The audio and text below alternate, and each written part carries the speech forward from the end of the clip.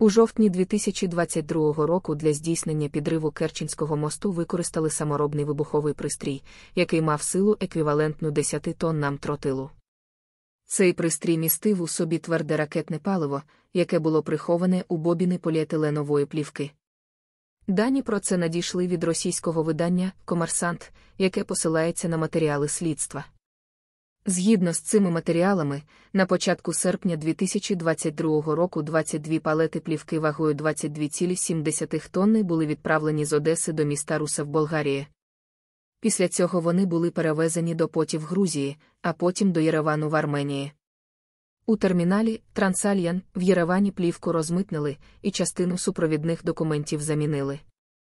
4 жовтня плівку було перевезено через кордон між Грузією та Росією у пункті пропуску Верхній Ларс, а через два дні доставлено на оптову базу в Армавірі, що в Краснодарському краї. Там палети були завантажені в машину International Proster з причепом, якою керував громадянин Росії Махір Юсубов, який не мав уявлення про плани. Він мав доставити плівку від Ульянівського ТОВ ПЕК 34 на адресу зареєстрованого у Сімферополі ТОВ Екстра. Ці складні маневри були здійснені для того, щоб зменшити увагу правоохоронців до вантажу.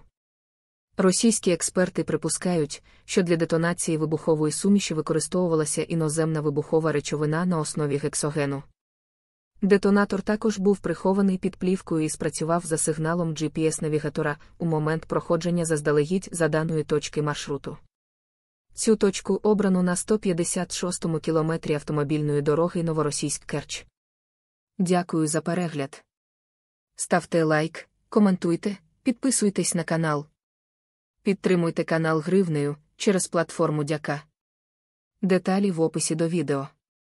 Слава Україні!